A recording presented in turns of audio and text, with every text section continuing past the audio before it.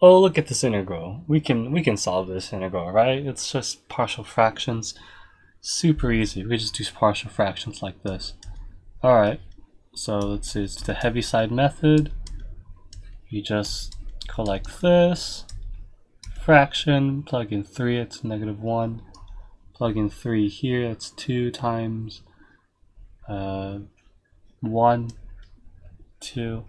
Uh, plug, let's see, 4, plug in 4 here, it's 1, plug in 4 here, it's 3 times 2, that's 6.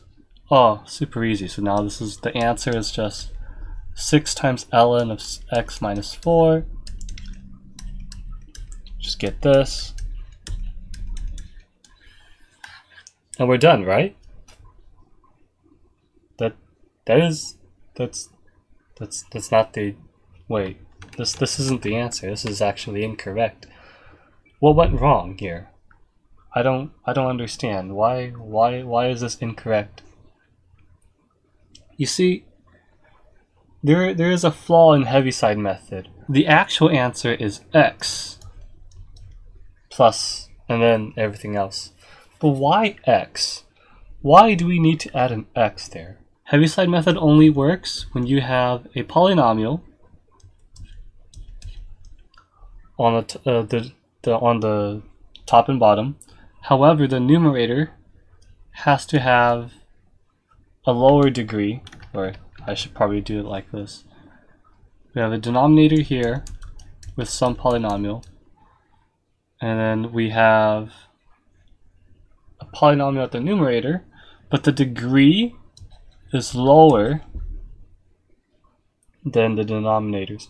So pretty much Heaviside method only works if the polynomial on top is smaller than the polynomial on the bottom. Here, uh, the degrees are the same, right? Because over here it's a it's x to the power of two polynomial, or I'm sorry, second degree polynomial. I guess what you would say. So they're both second degree polynomials, which means that you have to add an x for Heaviside method.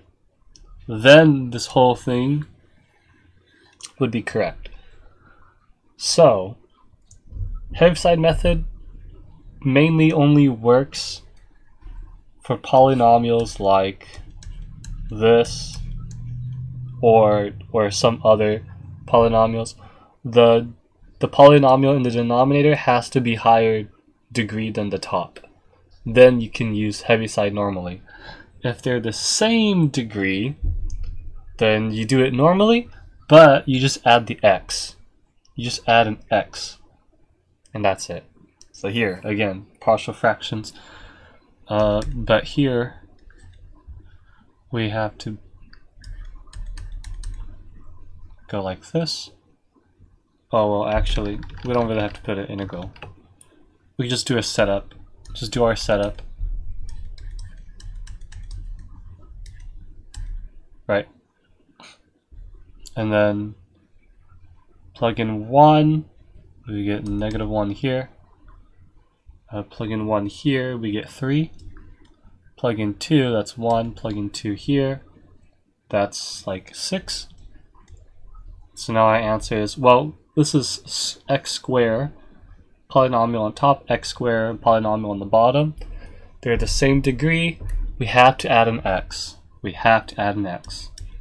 x, and then plus 6 ln of x minus 2, minus 3 ln x minus 1. That is our answer.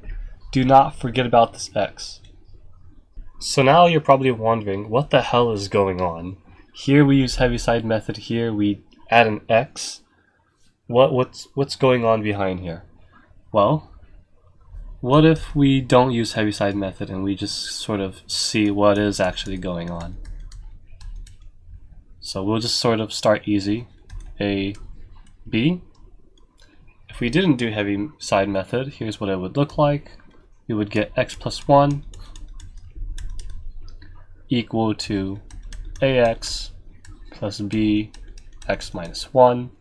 If we plug in x equals to 1, would give us let's see, 2 equals a. Okay. If we let x equal to 0,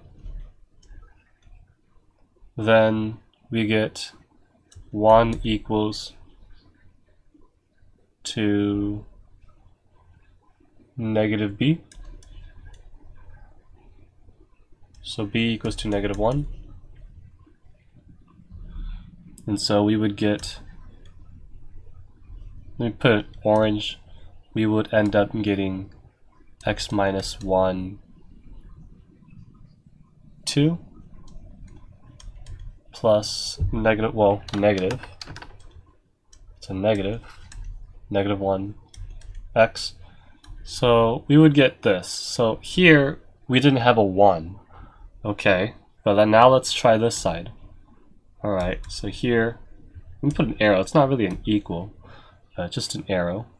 If we do the same thing,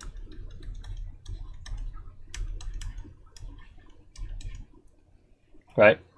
If we do the same thing, we get x squared plus 1. Just making sure I'm doing everything correctly here. ax plus b x minus 1. Okay, so now if I let x equal to 1, if I let x equal to 1, I get 2 equals to a. If I let x equal to 0, then what?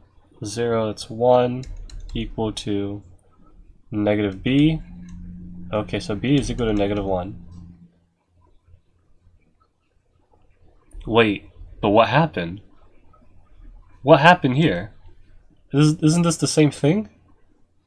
Is, is this not the same thing? What happened here? 2. Okay. So a is equal to 2. x minus 1. And then minus 1 over x. That's the same thing.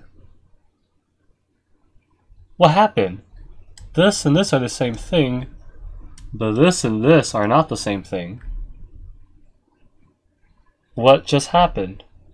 There is a flaw, right? If we actually, let me erase this scratch work.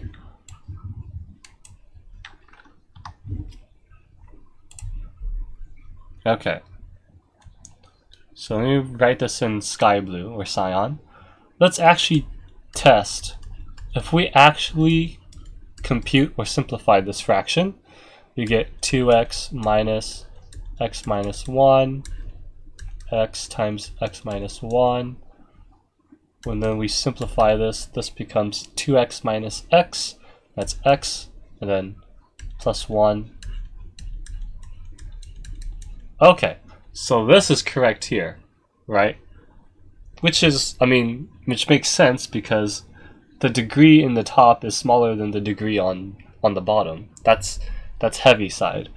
Here, what happened here? Why isn't this one true? What happened? Why is it not true? I don't get it. Why is why is this one when I when we do the same pattern it it doesn't work? What what happened?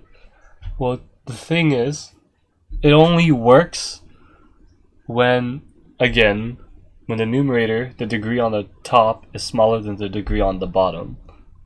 That's not what we have here. So that's why it doesn't work. This is this is a flaw. There's a flaw here. So you cannot use this method. Well, technically you can. You would just have to add an x. It just wouldn't be normal. If we add a 1, then we end up getting x times x minus 1 x plus 1 plus x, x minus 1. Okay. And now we get, let's see, this is x squared. x squared minus x plus 1. Oh! This is exact same thing as this. Now that's actually kind of crazy. But why plus 1? Why does it work for plus 1? The polynomial division is, is, is the reason why it's it's 1. Okay. It's it's just the polynomial division. So add add 1 or do the partial fraction and then x. And then you'll you'll end up still getting the same answer. So just be very careful and be aware of this. As you can see, it's just 1. If you do add 2x, then it's now 2x. So it is the coefficient.